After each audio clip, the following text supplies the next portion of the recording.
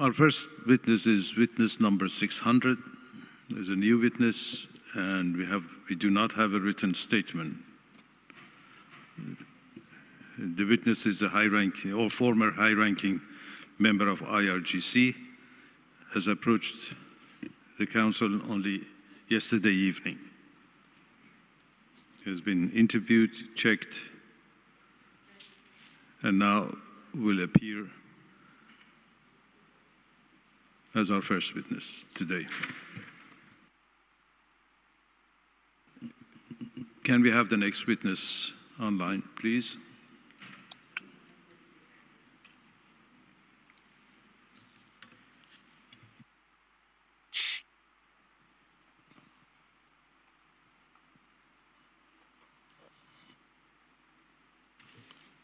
Mr. Witness, can you hear me?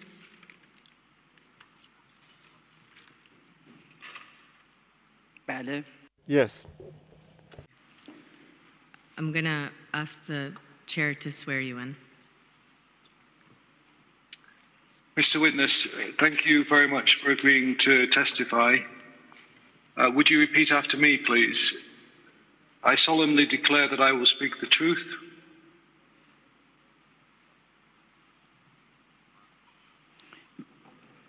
من سوگند I solemnly declare to speak the truth, the whole truth, and nothing but the truth.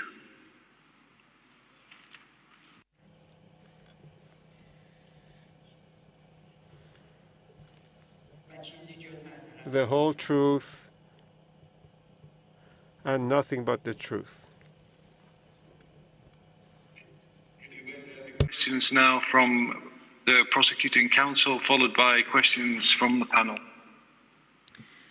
Mr. Witness, before I begin with our questions, you understand that there is no immunity given to you for appearing today before the tribunal, correct?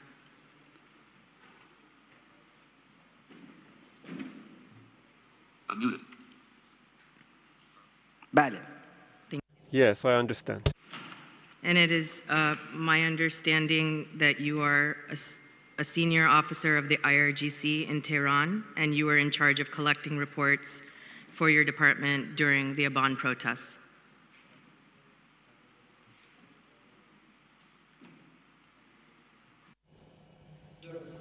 That is correct.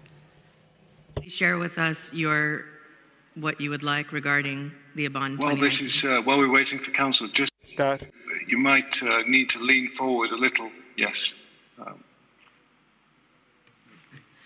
Can you please uh, tell us what you would like to share regarding the Aban 2019 protests?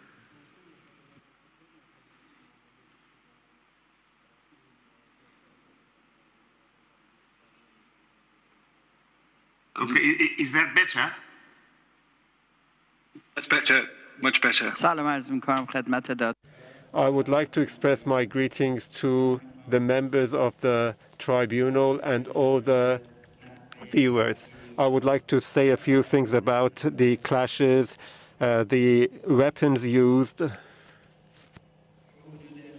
and the authority, the unlimited authority given to the officers, and also what I saw in the field.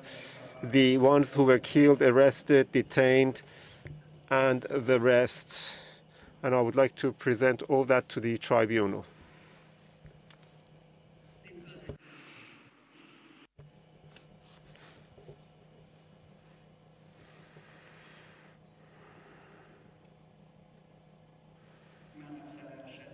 I am a senior officer of, of Tehran IRGC. Voluntarily, I asked and tried to contact the tribunal and to inform the tribunal of what went on during Aban 98 and 88.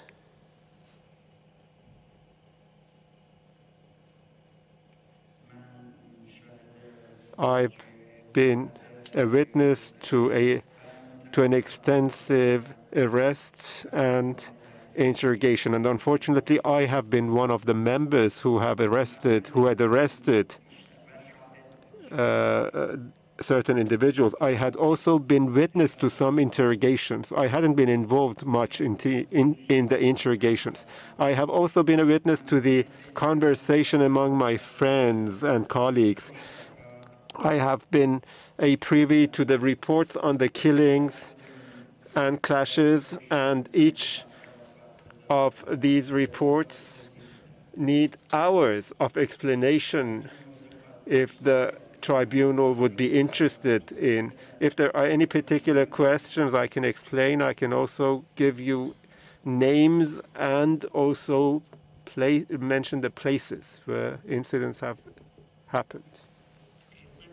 Start with the preparation.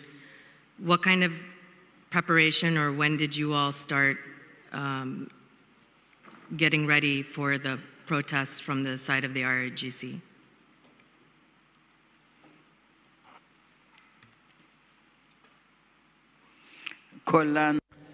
Generally speaking, the IRGC has a huge budget. Section of this IRGC is to be is to uh, uh, is to act against the riots, and they get specific training.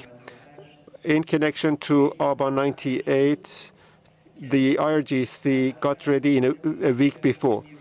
A, an order was issued from the top that all the forces should be ready. The forces were objecting that one week would not be enough for readiness, for preparedness. And nothing was mentioned about the uh, fuel issue, and they were just told that you should be ready for a riot. That was all. So this was, so you were asked to prepare one week before without knowledge. They had not announced the fuel prices yet. Is that correct?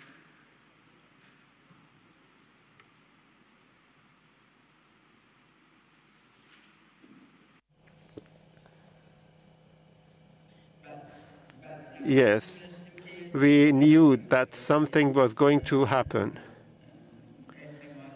But probably the heads of the three branches of uh, government were also um, somehow surprised. They didn't know that this would happen. This is based on what I have heard from the discussions among the IRGC uh, colleagues.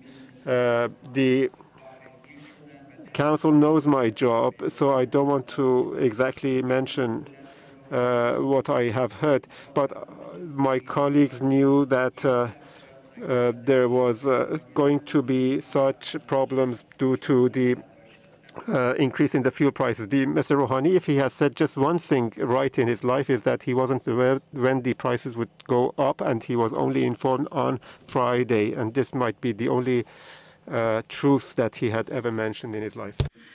Okay, let's go. Let's talk about the preparation a little bit more. What exactly did that entail? Did you have to give training? Were you told to have specific weapons? Tell us a little bit more about the preparation part.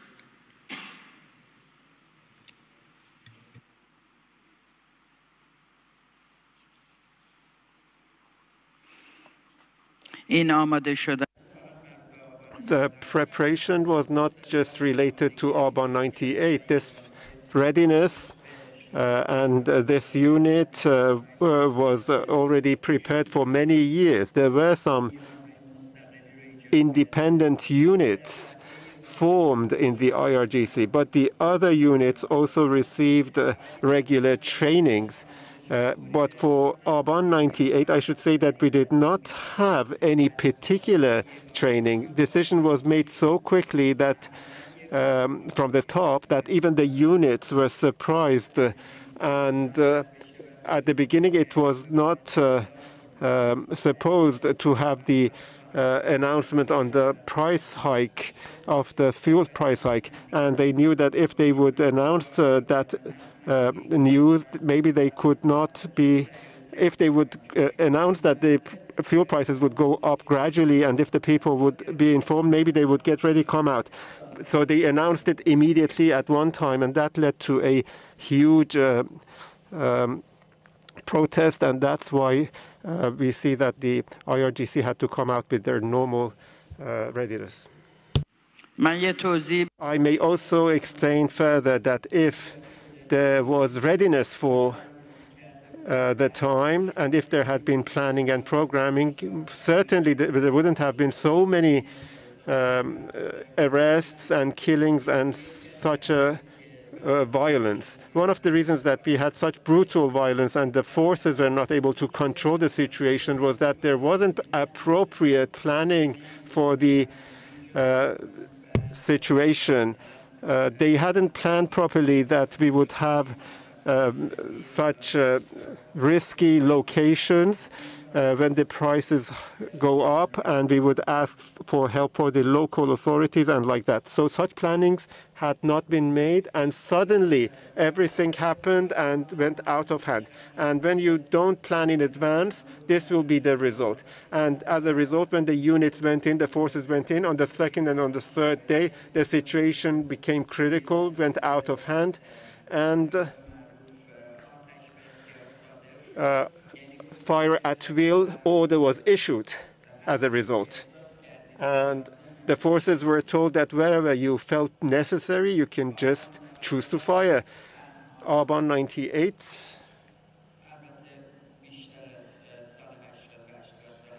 Even more than 19, uh, even more than uh, 1388 and 86 was a time that the um, military personnel did not report on the firing at people or the number of ammunition they used, and they did not report where they used their ammunition and who they shot at. So the issue was easily neglected. Uh, but while the military personnel can uh, can endorse and confirm this issue, that uh, the armed forces should always um, declare who they had shot at, where they were sh shooting, and how many, how much ammunition they had used, and what ammunition was left and they should hand over the weapons and the ammunition uh, back. Uh, and if there was any shortcoming, uh, they should report it. While in Aban 98, this did not happen. The number of the ammunition were never counted and nobody was asked how much they had used, how much ammunition they had used. Okay, just, just to clarify,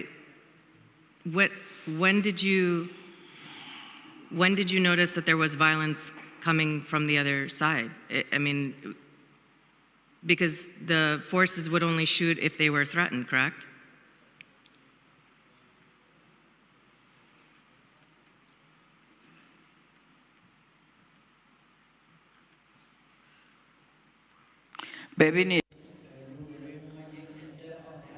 Well, in front of us, there were a number of people who had no weapons.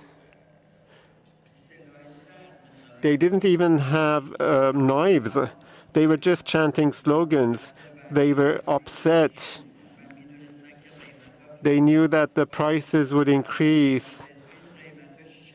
Uh, since the oil prices, petrol prices had tripled, the other prices would also increase. There were a number of hungry people who were shouting and they were asking for bread, as we call it, if you will. And there were no violence from them.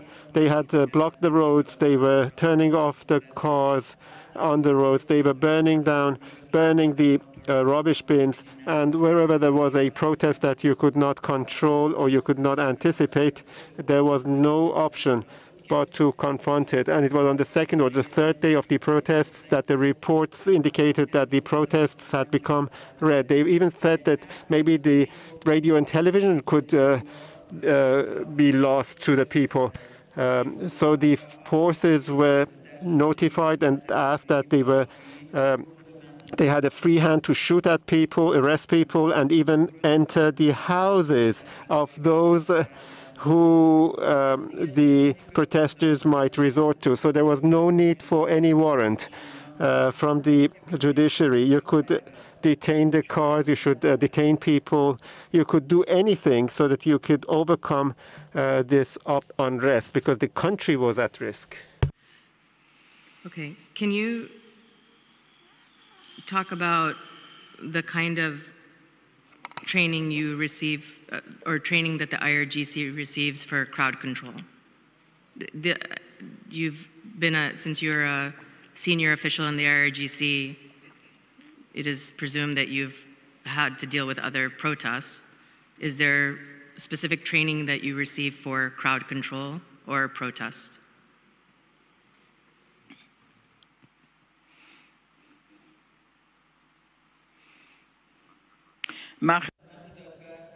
I already mentioned that the trainings were provided in advance to forces. The forces received training regularly, especially the logistic uh, units, uh, the Saberi unit, Imam Ali unit, and there are other units which I will not name. There are some that I cannot name at all because of my position. Uh, there are some units that are responsible for suppressing and uh, the uh, riots and crackdown. But at the time of Aban 98, it was not an issue of training. It was the authority that was given. The Basij was given the authority to use military weapons.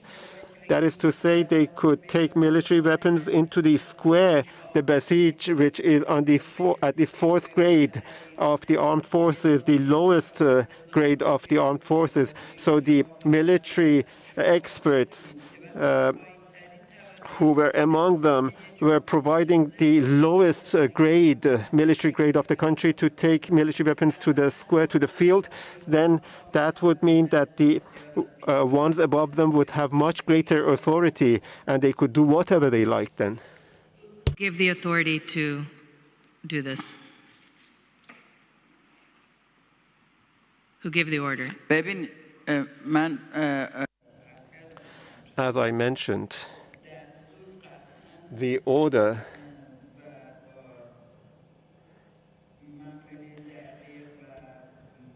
I'll try to be accurate. Uh, I can say that this came from the commander in chief.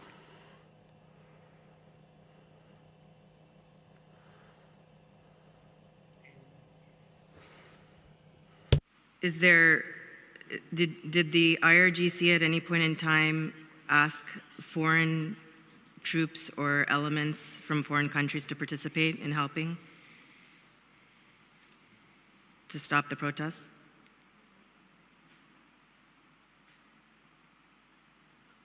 اه، We in Iran always have different forces from Syria, Lebanon, and Yemen. They are in various uh, barracks of uh, the IRGC, Anari, Semnan, Desert, Baramin Desert. They are constantly receiving training. So it is quite logical to use those forces when you are short of forces. In 98, everyone or every unit faced shortage of forces. That's why permission to shoot was issued so that the crisis would be controlled and contained. When you're authorized to contain a crisis at whatever price, it is quite natural that you would use the forces that were being trained at the time, even if they were foreign forces. When I said that the commander in chief issued the order, I meant the supreme leader. Did you use children? Meaning under the age of 18?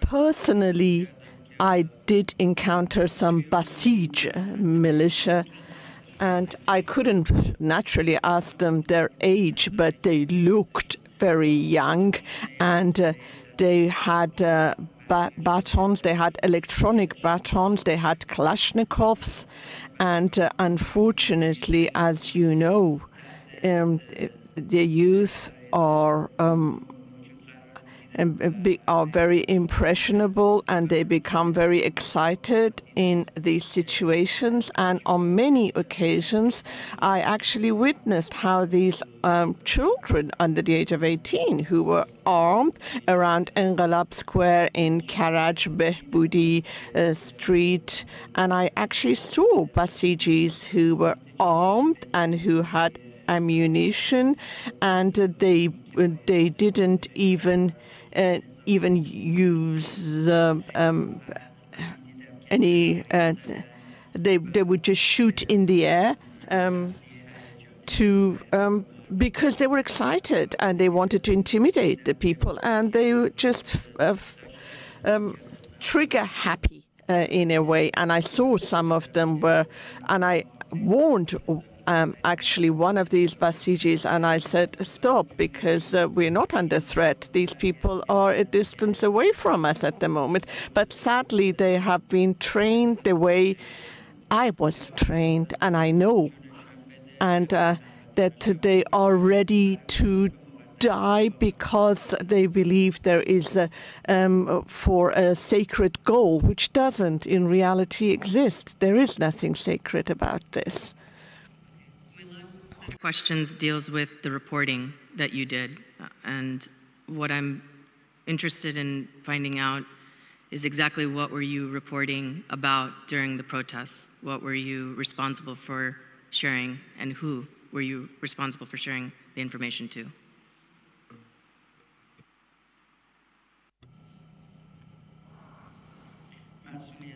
My responsibility in view of the fact that the telephone lines were not secure. And uh, and and I can elaborate on all that uh, later. The responsibility of myself and many others was to, with use our presence, um, to because we and witness detention centers, the protests, and give an official report to our superiors. And uh, um, and I can tell you later what my um, when when you have a closed session what my responsibility was in detail, in greater detail. But uh, I had to assess the situation and tell them how dangerous it was or it was becoming and report to my seniors. Was this information shared among all the forces, including the local police?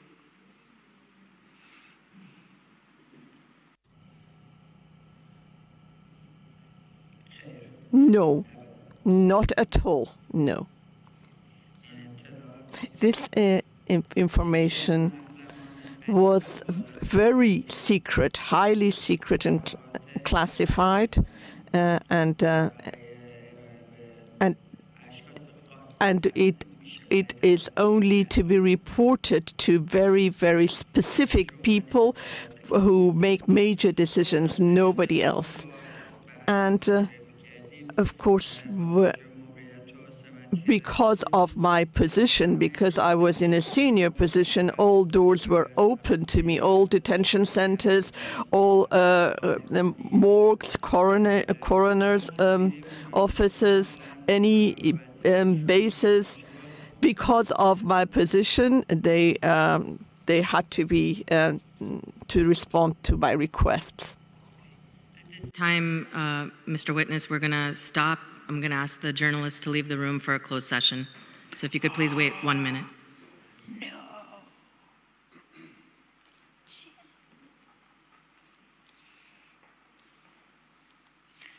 No. من هنوز نکاتی دارم که میتونه با I can I still have a few things that I don't mind reporters hearing about if you're okay with that. Okay. You can stay for a little while. Okay, why don't you go ahead and share what it is you want to share?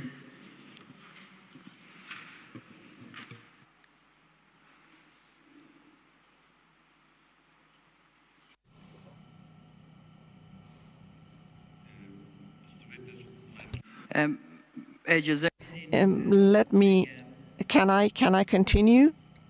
Please continue.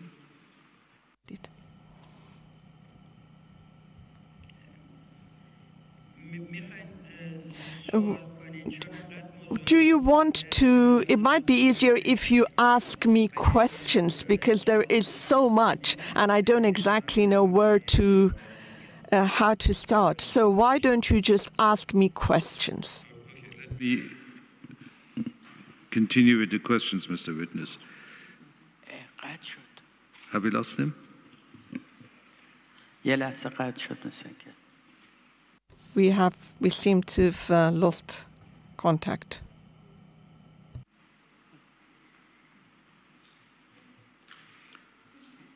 Two minutes. We'll have the witness back in two minutes. Oh, he's back. Thank you. Thank you, Mr. Witness. Shall we start with the first day of demonstrations on 25th of Aban? Where were you and what was your position? And if you can explain the geographic area where you were in.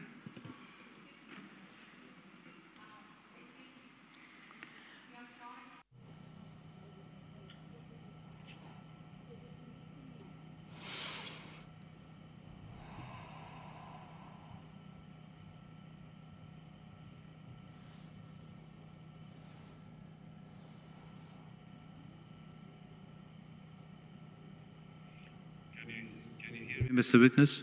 Uh, uh, yeah, yes, yeah, yes. Yes, please give me a minute. Yes.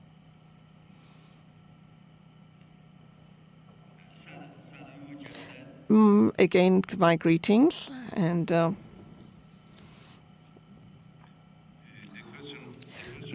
Can you please explain where you were on 25th Aban, that's the first day of demonstrations, and what was your area of activity and what did you see during the first day?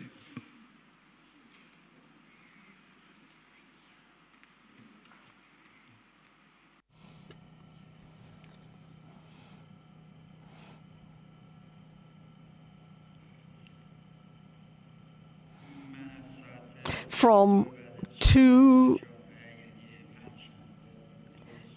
two in the morning on Thursday. I was in various parts of Tehran and also in uh, I was went to Karaj, Valiasr Square. These are areas I covered and where I witnessed. And on the second and the third day, they said the city is we are losing the city and even the state radio and TV. And they ordered the Basij units, Imam Ali units, Saberin units to use the uh, utmost force against the protesters. And I witnessed how people were arrested, taken by uh, on the bus, uh, um, and many, whether they were injured, uh, young boys, girls, they and I witnessed how they were taken to IRGC detention center, especially in Takhti uh, Street, where there is a sports stadium. And uh, I witnessed the interrogations, the beatings, and uh, uh, the, how they would undress them in the cold weather and in en masse and hundreds of them, 150 of them, or they would, one doesn't even treat animals like that. And I witnessed how they were being beaten up. I saw many bodies, and before I forget, I would like to mention it, it's very important to say how the bodies, the dead bodies, and um, the way the intelligence service of the IRGC was uh, treating these people and uh, uh, uh, I, I, um, I saw Kurdish people who were, some of them, their sons had come to take their fathers uh, to to take the bodies of their fathers. And they would pledge and say, please just give us the bodies of our father and we will not tell anyone about it. And we will bury our father without telling anyone that he was protesting or he was, he was shot and we'll keep silent. Um, but uh, we said, don't, don't you, uh, but, uh, and and I remember three sons were begging, and they were three butch sons were begging to collect their uh, father's body. And then there was somebody else, a father, whose son was also uh, shot. And he was also promising not to tell anyone, just to give them the body of uh, uh, love, his loved one. And I remember for a month he kept his the, um, his son's body on ice before burying it. But the intelligence found out about it that he was hiding his uh, son's body on ice, and they and um, some were. Um, promising to uh, say that uh, um, to say that your son will say your son was a martyr um, if you keep quiet. I never saw any of the protesters bearing arms. I never heard of anyone who had arms and weapons and was arrested. And I know in Luristan they were saying, oh, in Luristan and Khuzestan, and uh, there are tribes that uh, are armed. But uh, yes, and they had raided their houses because traditionally some of these tribes have some weapons and their houses were uh, uh, raided, but I heard from reliable sources that in Khuzestan the number of victims was actually frightening.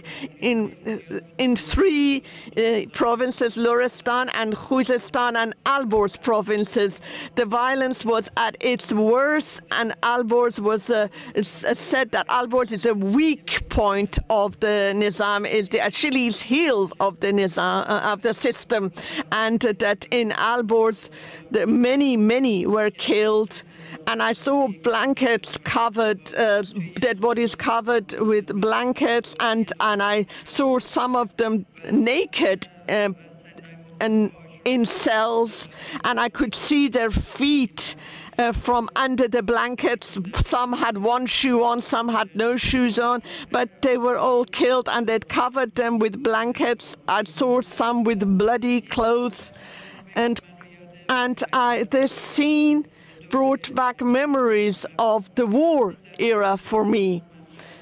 And I tell you, I'm hearing from, I've heard from reliable sources, and due to my position, I know they were reliable. And uh, they were they were saying Tehran is uh, we are losing Tehran, and uh, we've we've heard also from provinces that uh, some of the forces, even police forces who are uh, showing weakness in um, encountering the protesters. Mr. Khalafi, Mr. Vali Haqqanian, these are my sources. And the sources I'm talking about, they had, uh, no, sorry, the sources told me that these two had ordered uh, to, um, that you should shoot anyone you see on the street in order to quell this uh, unrest, do shoot anyone at will. Can you please explain the position of Mr. Khalafi and Wahid Haqqanian?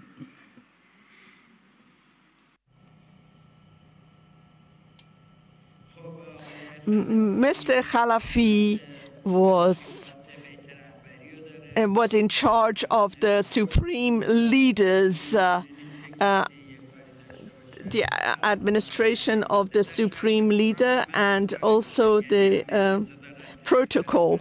And in the crisis uh, situation, they are that although he was in charge of the supreme leader protocol, for instance, when uh, Mr. Khamenei has a meeting, he is the one who decides who should sit where, who should sit next to the supreme leader, who should sit away from the and he's the supreme leader. He is also in very close touch with the Friday imams um, nationwide, uh, such as Mr. Hijazi. He is actually number one after Mr. Khamenei, who uh, orders, uh, gives orders, uh, communicates the orders to IRGC commanders, and then IRGC commanders uh, by turn pass it on to others uh, below them.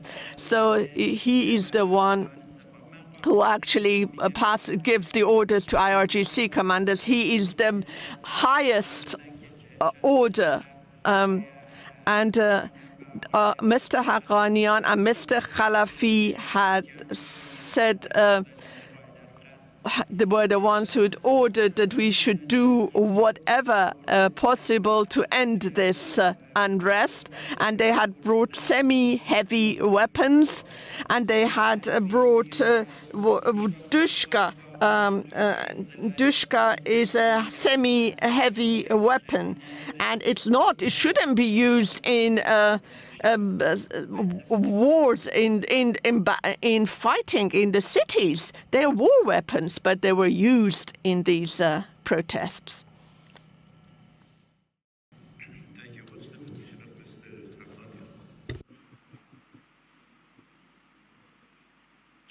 Sorry, I didn't hear that, Mr. Sabi. What you just said. آقای حقانیان یه جوری آقای خامنه ایه. Mr. Haqqanian is in fact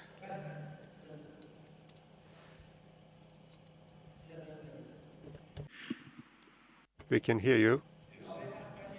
Mr. Haqqanian is in fact the voice of Mr. Khamenei.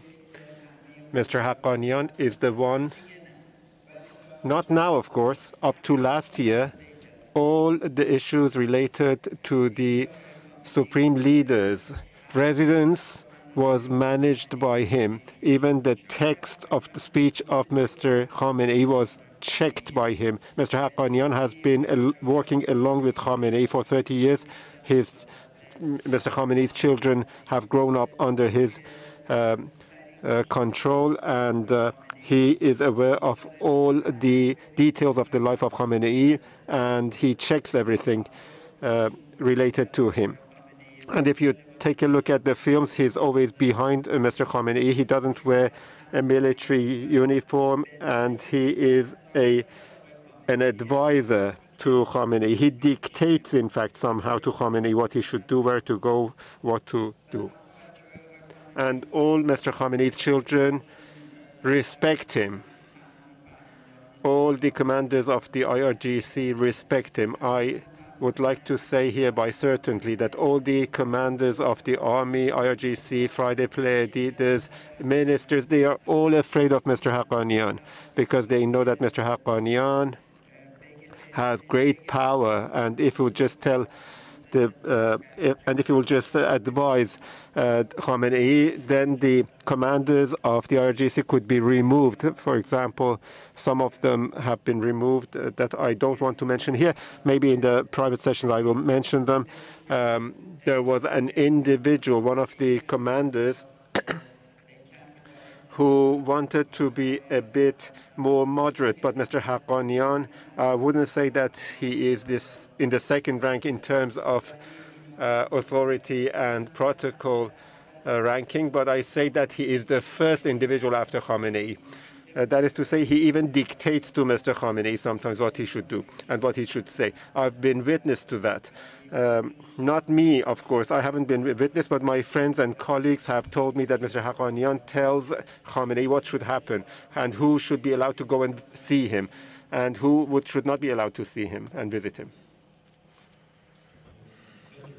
Thank you, Mr. Witness. Is this your evidence that the order of shoot to kill came directly from the leader's office and on his orders?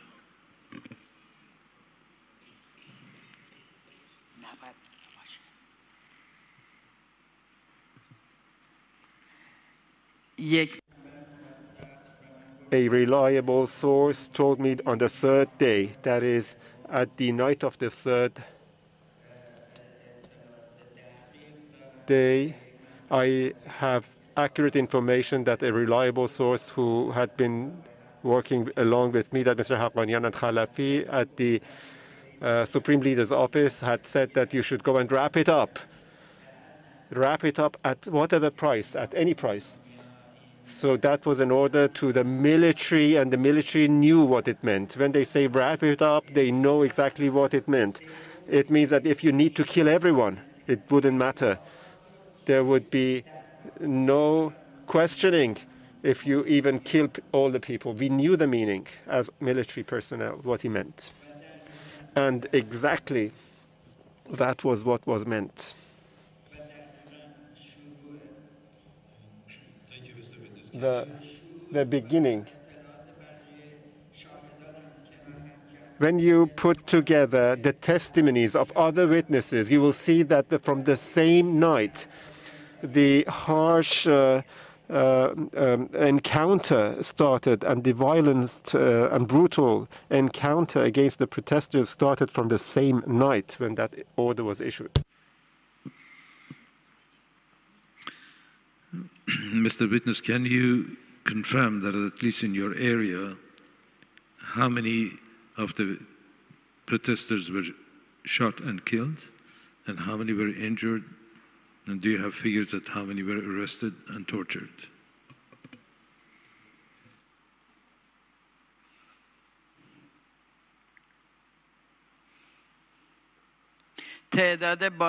The number of those detained after I had a discussion with my colleagues and friends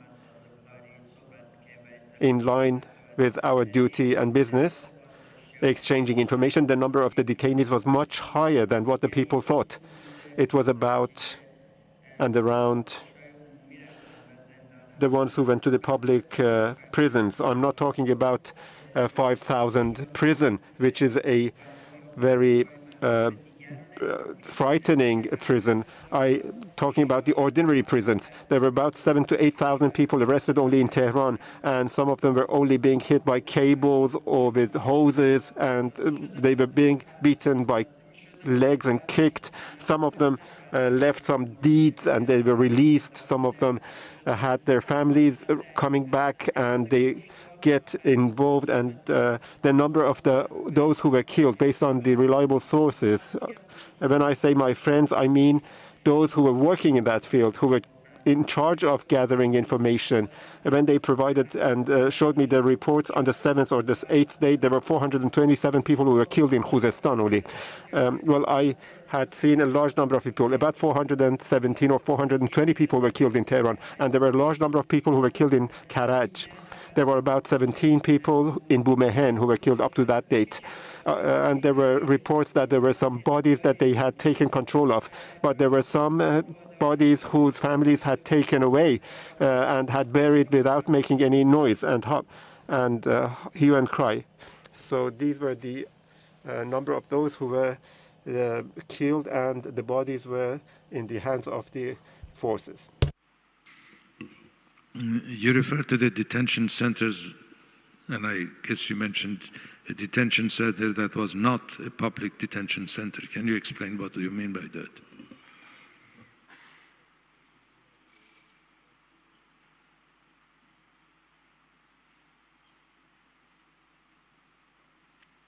Ben.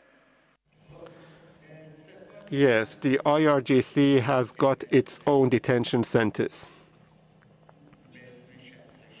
number 66.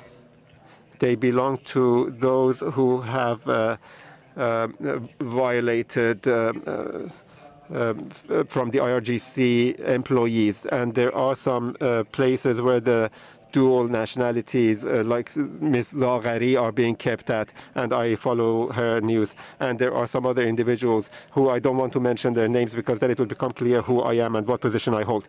Many were, have been taken to those detention centers. They didn't know where exactly they were taken to, but these were the detention centers that they were taken to. Um, the detention center 5000 it's a specific unit of the intelligence department of the IRGC it's for the dual nationalities those spies um, um, who work for the foreign forces, these, the ones who are accused of uh, espionage or are suspicious of espionage, they are being kept in those detention centers. If they go into uh, those detention centers, they should be very lucky to get out of it. It's in the end of the world. They will be under psychological pressure and physical pressure. They have an open hand in those detention centers. They don't need any um, any um, um, war warrant or anything. They can do anything in that in those detention centers. They can take all what you belongs to you overnight. They can confiscate whatever they want. Uh, uh, they can create any type type of case against you: homosexuality, uh, trade, uh, um, uh, betrayal, anything, treason, and everything, and all uh, the uh, judiciary officials are also afraid of those in charge in these uh, detention centers, and they will uh, also sign any paper that they want for those in charge of those detention centers. This is uh, detention center number 5,000. Detention center number five. First of all, may I ask the witness to slow down because the interpreters have difficulty in catching up. Detention center number 5000. It, I understand it's not organization and it's controlled by IRGC without any interference or oversight by the judiciary. Is that correct?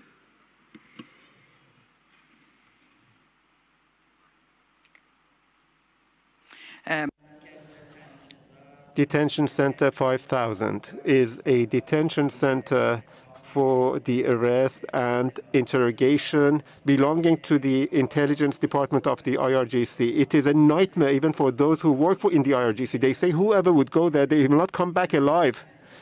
The detention center 5000 is the center of power. Taeb may do whatever he likes over there with whoever he likes. Even the MPs, the members of the parliament who talked a lot at the, in the parliament, who Uh, try to act as a reformist or who, say anything against the supreme leader after a few hours of being interrogation in that area they would know that they should go back and they should not repeat what they were saying. The, the detention center 5000 is where you have the information of all the families. You can have all your private information and they can make any changes in those information. They can accuse you of anything over there. They can accuse your children of anything in that uh, detention center. They can accuse your family of anything. So they can um, create anything and uh, whatever is important for a family can be used as a means against the individual without any uh, legal uh, uh um, procedure. And so you see that how cases are being built for dual nationalities. Uh, individuals, and even those who are within the system are being treated uh, much worse.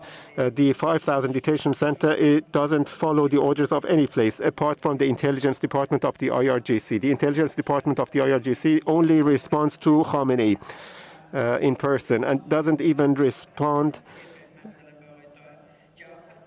to Mr. Taeb. He um, Uh, Mr. Taeb only responds directly to Mr. Khamenei. He says, I've done this and that, and this is what I want to do, and that is it. This is a very frightening organization.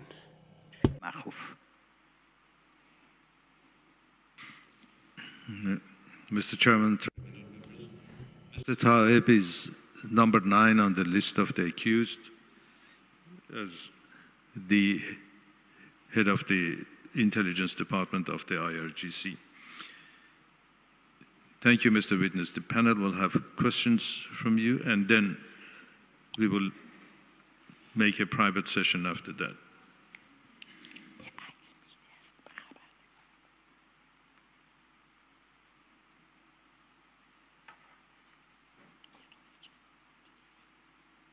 Ms. Rohan?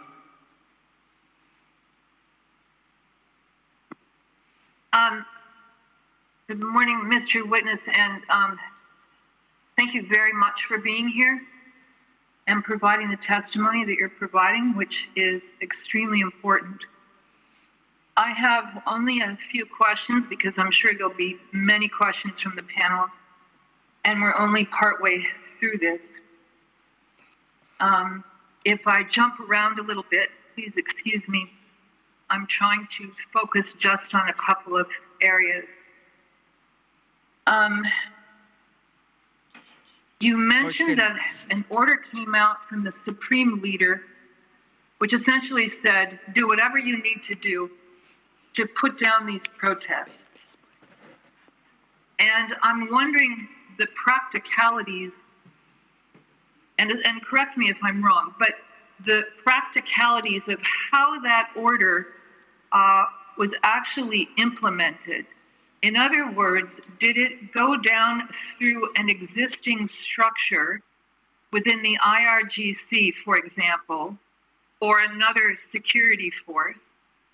Or was it an order that was simply made known generally, um, such that local forces, for example, local police, the uh, Basiji, whatever, felt, given the existence of that order, that they could simply do what they wanted to do in their local area. Do you understand what I'm driving?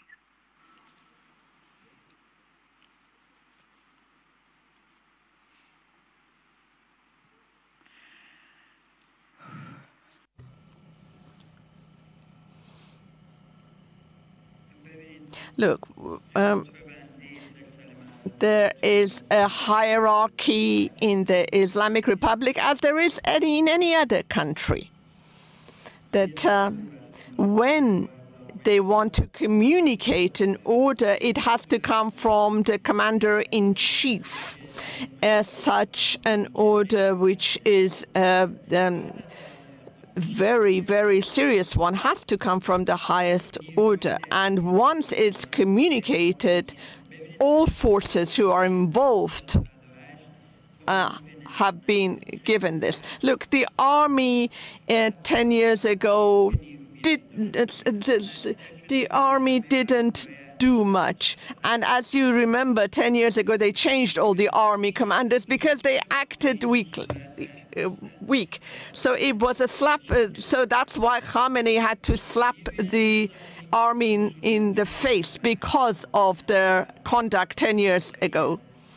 But um, the, because local forces, always because they knew the people, they knew the people in their localities, and they also had fear because they were known. So they they uh, weren't uh, as trigger happy. So it was mainly the Basij, even the IRGC, because some of them were had families, they were older, they were sons and daughters. Look, in the system, in the body of uh, the IRGC and army, some 90% think the same way as the ordinary people do they don't they don't believe in the supreme leader. They don't believe in the intelligence service. They don't believe in even those who've come to Syria and returned from Syria have changed their minds about the system. When the order was communicated those who were more trigger happy the unit that were more trigger happy and I can say there were they, it was the Basij. The Basij militia were the trigger-happy unit. They did not care. They were killing people indiscriminately. They didn't care who they were shooting at, who they were killing. And they were excited. They, and it was, it was they are uh, they were very it was it was a kind of a frenzy they were not experienced like us and um, sorry that the, they seem to have lost volume uh, oh sorry or in Luristan they sent special units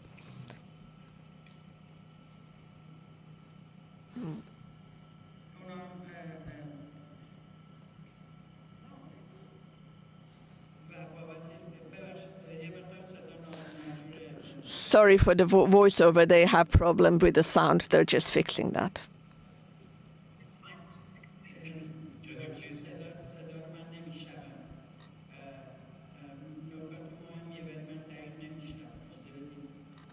Uh, the voiceover person says he she cannot hear.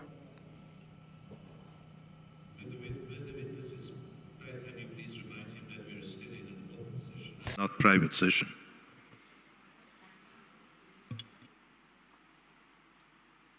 I, I didn't hear. Sorry, sorry. Could you repeat that, Mr. Sabri? Just I wanted to remind the witness that we are still in the pri- uh, open session. The reporters are here, not in the private session, just for the witness to know. Can can the witness hear the translator, and can the translator hear the witness?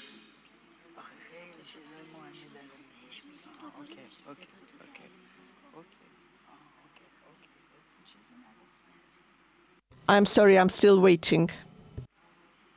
The interpreter talking.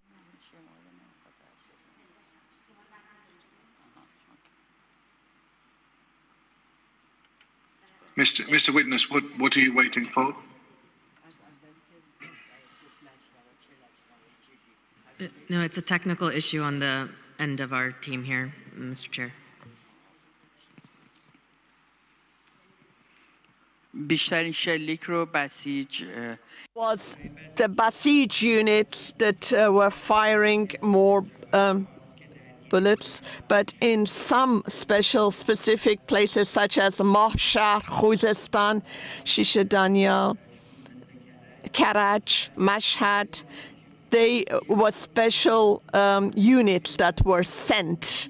And in um, when it and they have the same power as the 5,000 of the IRGC, as which I previously mentioned. They have very powerful. They once they enter the scene, they ask all the other forces to leave, and whatever they say has to be obeyed by all the other forces. They cannot say no to these special force. Uh, describe those special units a little more precisely?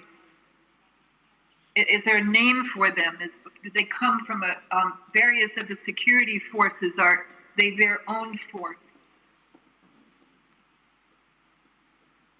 What precisely is a special, um, special unit? Uh, These units have, ha, are units that have been trained. They are very um, um, tall, well built, strong built, very strong constitution. They have a very um, black belt in karates. They have a 2020 vision. They are, uh, and uh, even they are constantly being trained as well as receiving uh, written training. Even they're, they have they are sent to camps in Syria, uh, Lebanon, and uh, even war-stricken places. These are this is a unit that's been trained for a situation when all other forces uh, are helpless and can no longer deal with the situation. They are the ultimate force, the last resort. Um, especially in cities. I come from a city, uh, but even in border areas, they send the uh, special IRGC force. This IRGC force, they've been trained to use coercive force. They they're not responsible to any anyone. For instance, for instance, a police is held accountable if they shoot at anyone, but they are they have a license to kill anyone they want. And nobody, no one asks them, why did you kill? And who did you kill? You are the uh, kind of final trump card used by the system. Saberin, Saberin unit, Imam Ali unit, these two I can name. They are two of these uh, forces that are used as the kind of final trump card by the system to quell any unrest. You're reminding me of, of a question to go to your description of the um, detention units that were maintained or are maintained by the IRGC and the misbehavior, let's put it that way, beatings and other things that occur in these units that are perpetrated by members of the IRGC? And is it your experience, is it within your, your knowledge uh, to say whether these forces engage in this behavior because they feel coerced to do so?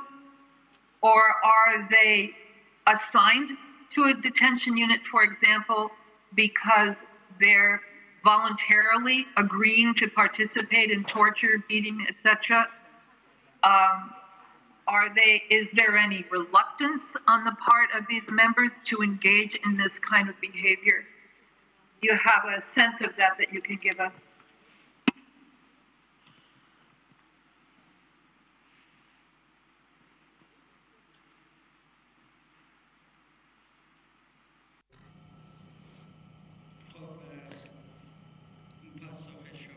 In in response i can it's all relative. I can tell you there are some who really enjoy this torture.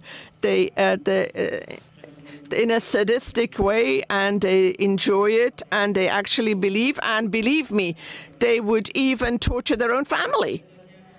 And there are some who are within the intelligence ministry or the IRGC intelligence who are not happy with this situation, but they have no no other option. Like myself, I put uh, I spend my life working for the system. I've given my life to it, and uh, finally I realized I'd made a mistake like many people in my country, if you put, if you uh, have a referendum in my country now, monitored by international organizations, and uh, of course they have to put pressure on China and Russia to allow such a referendum to take place. Believe me, only maybe one percent would uh, vote for this system, and I tell you, the main body of the military and intelligence also thinks the same as the people.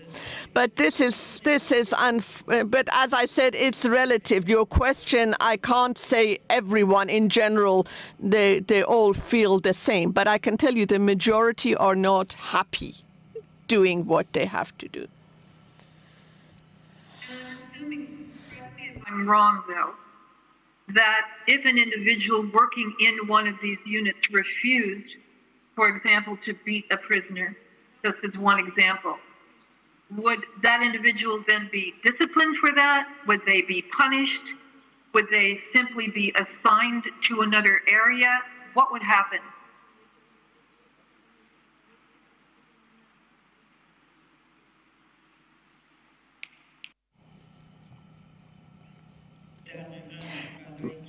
Um, the I can tell you what he was told to do to that prisoner.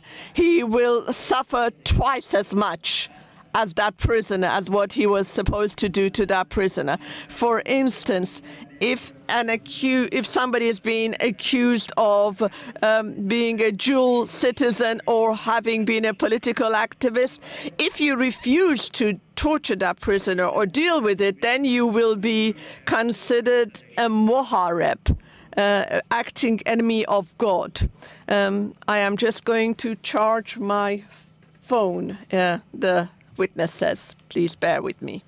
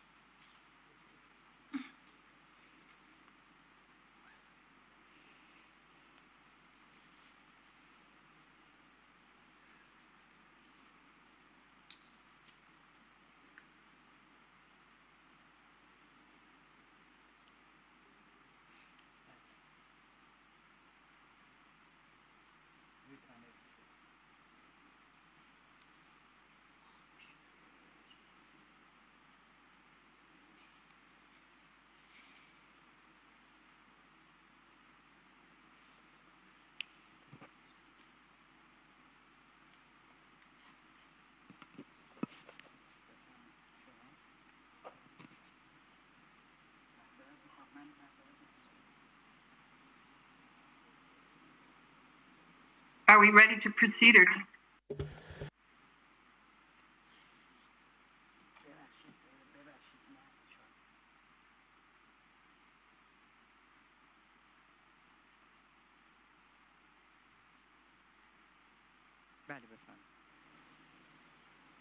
I guess we are.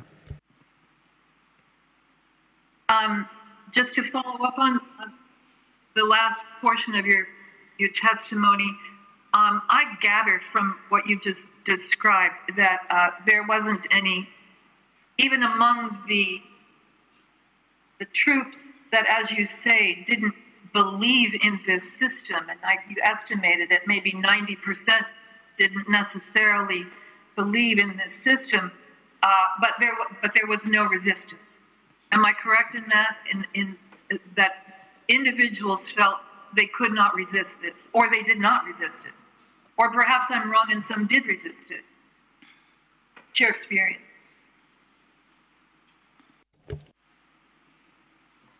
Carmelander.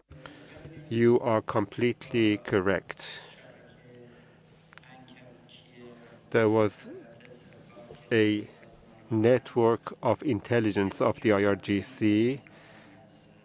There is a network of the IRGC um, intelligence service, so nobody dares to oppose the diplomatic behavior of the system or the policy of the system against the detainees, against the opposers, against the protesters, artists, the policies of the state against the laborers, businessmen, and the like. Nobody dares to oppose the policies of the state, of the system. If they would oppose, then they would have to go and respond to the intelligence department of the IRGC. If you are summoned to the intelligence department of the IRGC, you will lose all what you had done in the past. You will uh, not have the chance. Uh, you will lose the, your oral relatives would lose the chance of getting employed uh, in the official positions after. So you will be deprived of all the um, privileges after. That's why people are frightened. They don't believe in their own powers, that they can resist, they can oppose, and they have power and they can say what they believe in. And that's even among security forces.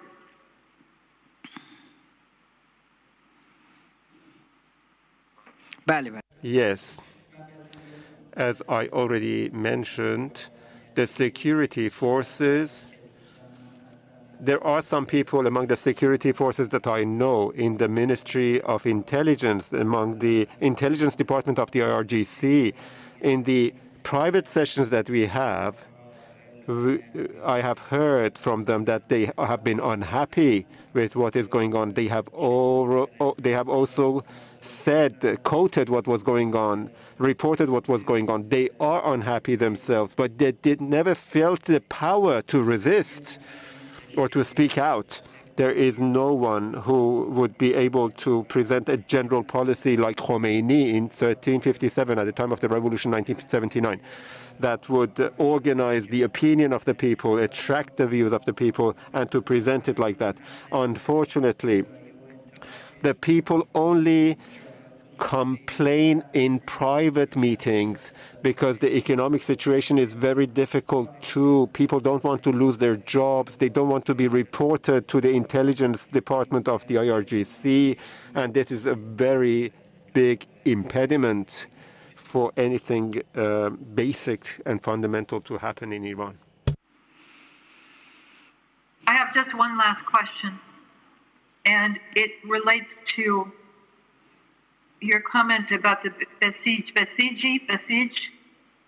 Um, we've gotten a fair amount of information that the members of this group countrywide are primarily people who are under the age of 18, mostly kids, that um, their training is questionable, that many have been in trouble criminally with the law and then are recruited into this group, that many are offered, um, I don't want to say bribes, but positive uh, potentials in their life that otherwise they would not have access to as a means to bring them into this group. And I'm wondering if that's a fair description of it.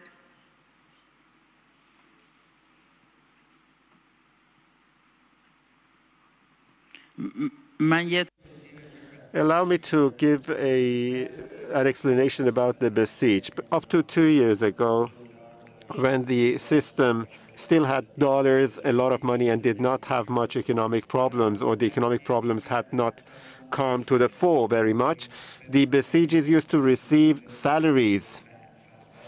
So they active Basijis used to get salaries. So Basij is an organization that can have uh, can include anyone, even the criminals. They say that we are so attractive that even the criminals have joined us. So Basij is a an organization that does not recruit people. You don't go through a filter. You don't need to go through a certain procedure. You can just say that I am ready to go and stand there as a guard. They are very young. They would be happy to go and have a hand over the weapons once a week and to go and stop the people's cars and to search people. Some people have psychological problems. Some people prefer to hit to beat uh, girls, to take uh, alcoholic drinks from someone, and be happy that they have sent the individual to the court. So Basij participants are very young. They were being uh, supported financially by the state up to two years ago. But in the past two years, that the system is facing financial problems, and the system uh, has shown that uh, it uh, is not quite fit financially. So the Basij um, is not receiving much salary. It's about 200 to 300,000 two months of money that they pay as salary, which is very low when compared to other salaries. So uh, there are some priorities given to Basijis. For example, they can be employed much more easier than the other places. So if a, an office wants to employ someone, they will go and look for the Basijis first. So it's, there is a sort, sort of a privilege for the Basijis. So the Basijis, um, if they have any specialized forces, they will be immediately recruited. Um, but any kind of employment will start from the Basij. So there is a particular privilege for Basij. If you have been in the Basij, then you would know that you would be employed certainly in a few years' time. If you're in Basij, you can get letters for your banking works, uh, to receive loans and the like. And we had the Mehr Bank, uh, which has now been um, uh, merged in other banks.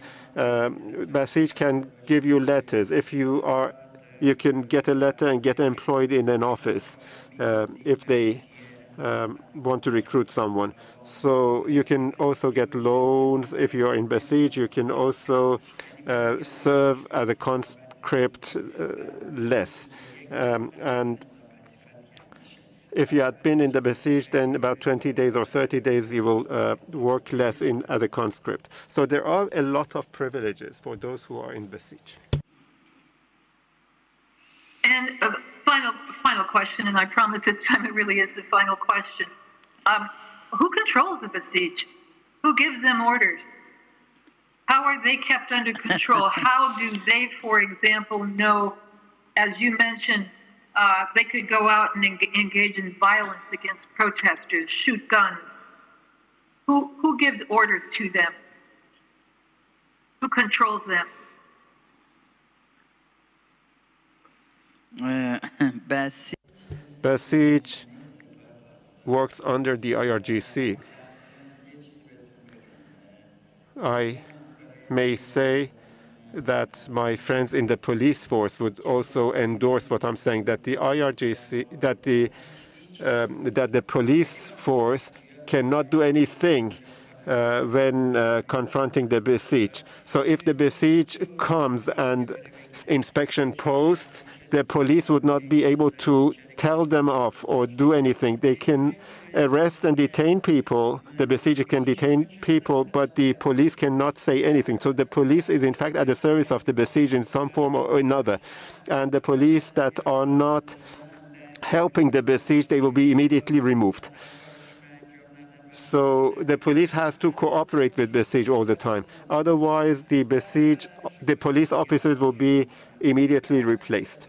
So Basij receives order from the IRGC, and it is the resistance force of the IRGC. The IRGC has got the ground force, uh, air force, naval force, but they receive order from the resistance force of the IRGC. They are in fact a part of the IRGC, the unofficial members of the IRGC.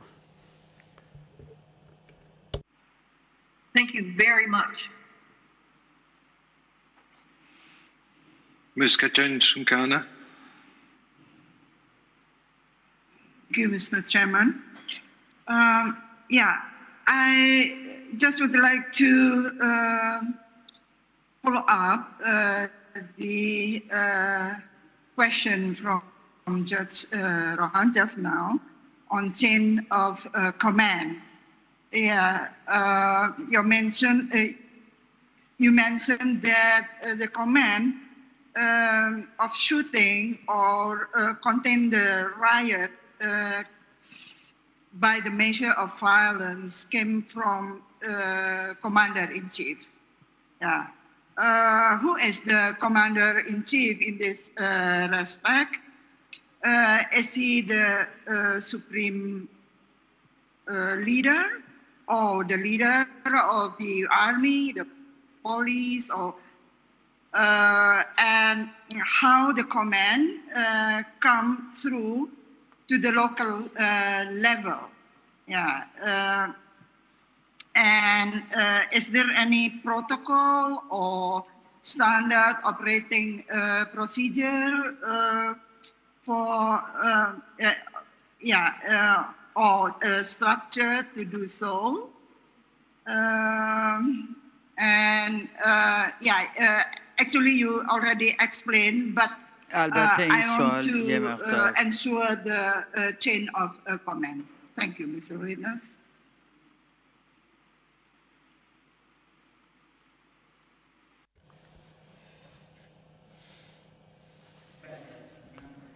Yes, I already explained several times, maybe a bit uh, in a scattered manner. This is a specialized question. You know that uh, the order to shoot comes from the top. So the forces in the field will receive order from the their commander of the force. For example, when the ground force uh, got involved in Karaj, they should have received the order from uh, the uh, commander he command headquarters, and the command headquarters receives this order from the supreme leader, the commander in chief. So, for a for shooting once or twice or ten times. The force may decide by itself shoot at people from waist down. They may say that I was in danger, so I uh, had to shoot and write a report on that. But in connection to shooting all the people in all cities, just for the increase pro protest against the increase in the prices of oil, that would need a major order, and that should come from the commander in chief. And the commander in chief, you know who he is. I don't uh, deem it necessary to repeat the name. That uh, order has to come from the top. And when that uh, order has been issued, according to the reliable sources that I have, then uh, a uh, command center, which is in the office of the supreme leader, I don't, as I said, this is a specialized discussion. I don't want to open it here through certain um, networks of um, uh, secure lines. The order is being issued and goes down. Nothing needs to be written, uh, be in writing. Everything is verbally done, and it is being done through secure lines. The order is being issued through secure lines, and it goes down. So, uh, in general, is there any uh, written protocol or standard operating procedure uh, to do so? Just a just general, general. Uh, A message goes to the uh, commander-in-chief, and some of the heads of state have also confessed in the state TV that Tehran is being lost. If Tehran is lost, the country is lost. And on the second night, the third night, Tehran it was being lost. People were becoming heartened to go onto the streets with their children. In 1388, the children didn't go out to the streets with their children, but in 1908, they went out with their children. Nobody was banning their children to go out because it was an economic issue. It was the issue of hunger. People are being are starving, and there were some people who had come turned out in the streets because of bread. It wasn't like 1388 that was a political issue. The order comes from the top. The order is being issued, and then the shooting takes place when the shooting takes place, that shooting, when the security of the country, the national security is discussed and the collapse of Tehran is under discussion, there is no need for protocol, there is no need for law, there is no need for the order of the prosecutor, there is no need for telex or fax or anything. That is to say, from a certain uh, lines like uh, the IRGC COSAR line, which is internal. Somebody picks up the phone and very easily tells uh, the other side that you send your forces and fire at will. Go to that place and have that place closed down. So in view of the fact that everywhere is being monitored and the information are being fed uh, back and it is being uh, clearly explained where there are clashes, where there are dangers, and there was order of fire at will from the top. Therefore, the forces went to the places where there were greater clashes. I believe that I should not explain any further in this session about the uh, process.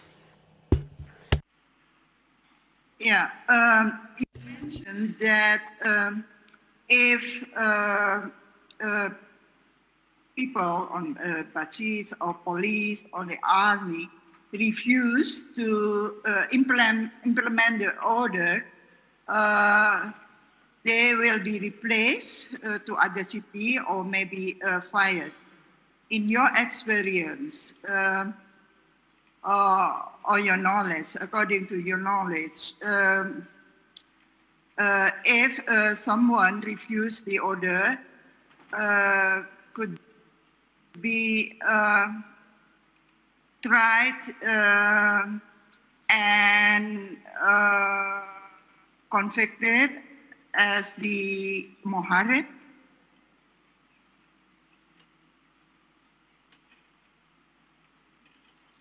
Because the, the comment has come from Supreme Leader, right?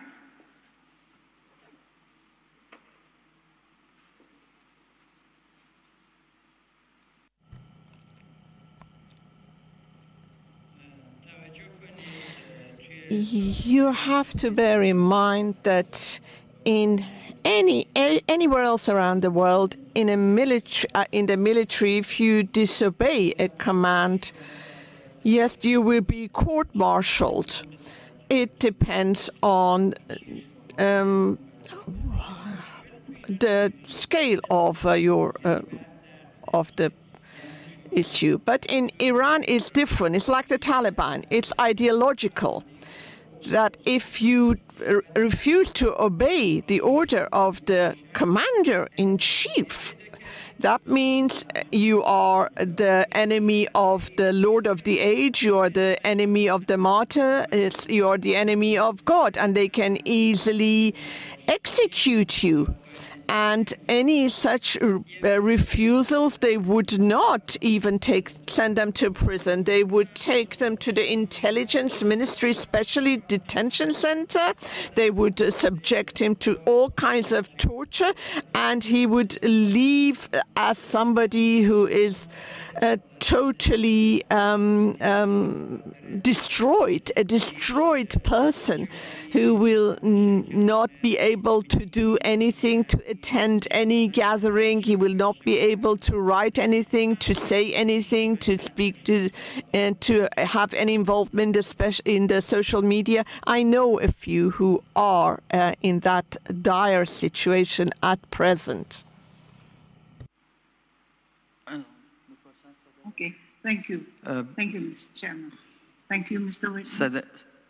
Your testimony is uh, really uh, important. Ms. Saudi?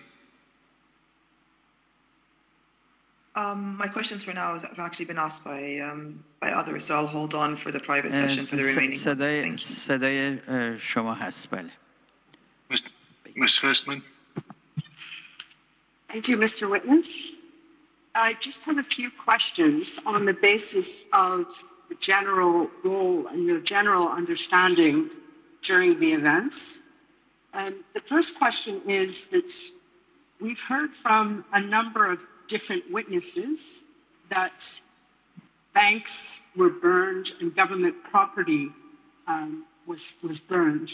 Um, is this something that you might be familiar with?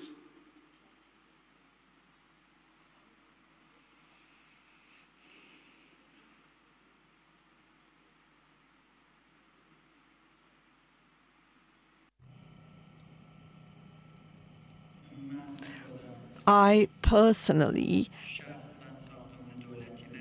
did not see any government building to go on fire except maybe a few Basij units from within in, uh, and people had uh, and because they had shot uh, the Basijis from inside their units, people had shot back and maybe there was fire there.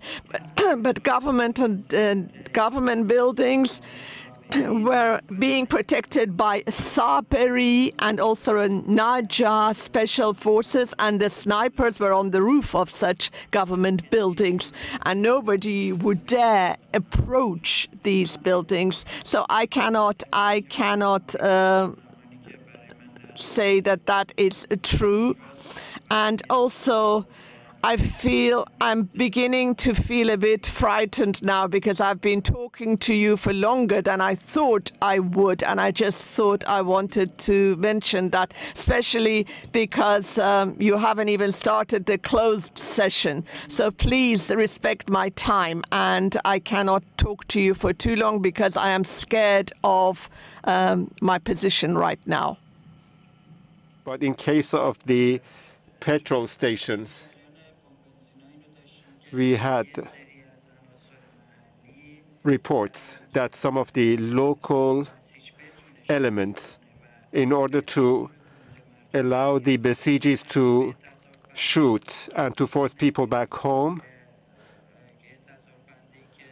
uh, because if you have ordinary protesters, you cannot shoot at them just for protesting and for chanting slogans. So there should be an excuse. So I was informed that there were several cases, maybe two or three cases, where in the greater Tehran area, some of the inside uh, um, um, forces had burnt petrol stations to blame people. But in many cases, the people themselves had burnt the uh, gas stations because they had uh, got involved in clashes and as a result, the people themselves had burnt the gas stations. Thank you. Um, we've also heard a report uh, by uh, someone who testified before the panel that some violent prisoners uh, were taken out of prison in order to join the forces. Is that something that you are aware of? بله بله بله Yes, I am. Yes, I have.